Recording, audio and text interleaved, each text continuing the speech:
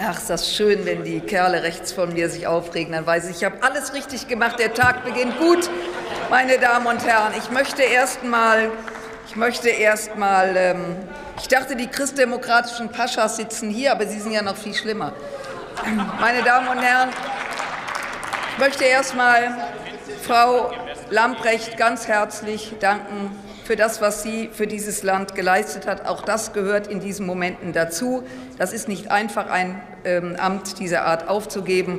Und deswegen möchte ich ihr ganz herzlich im Namen meiner Fraktion danken. Und, liebe Freundinnen und Freunde, natürlich gratulieren wir Herrn Pistorius. Wir wünschen ihm Glück und wir wünschen ihm Fortun, was man Fortun, was man an diesem äh, Job wirklich braucht. Und Herr Wadefuhl, dass Sie ihn als drittklassig bezeichnet haben, finde ich, schon, finde ich schon sehr kühn, angemessen der Tatsache, dass auch Frau Kamp-Karrenbauer aus dem Land kam, international nun wirklich nicht die Wucht in Tüten war.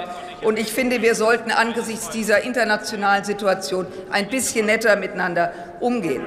Der neue, der neue, der neue Verteidigungsminister hat keine 100 Tage. Er hat nur mal zwei Stunden.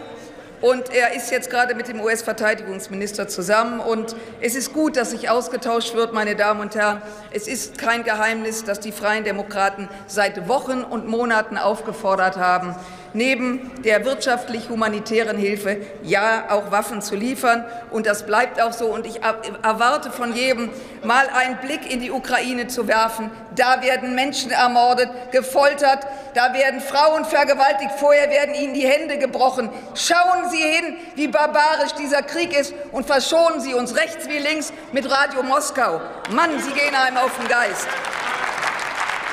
Meine Damen und Herren, Gestern war der Bundeskanzler in Davos. Er hat sich nicht zu den Leopard 2 geäußert. Ich möchte zwei Dinge nur abschließend hier sagen. 2014, erster Angriff auf die Ukraine. Die Kanzlerin Angela Merkel hat daraufhin nicht die Beziehungen zu Russland überdacht. Sie hat Nord Stream 2 in die Wege geleitet. Meine Damen und Herren, das war angesichts dieses Drama 15.000 Tote, 15.000 Tote. Das war der Anfang der Spaltung von Europa in dieser Frage. Und in der Tat muss auch der Bundeskanzler der Bundesrepublik Deutschland heute aufpassen, dieses Europa nicht zu spalten. Wir werden gemeinsam die Ukraine unterstützen.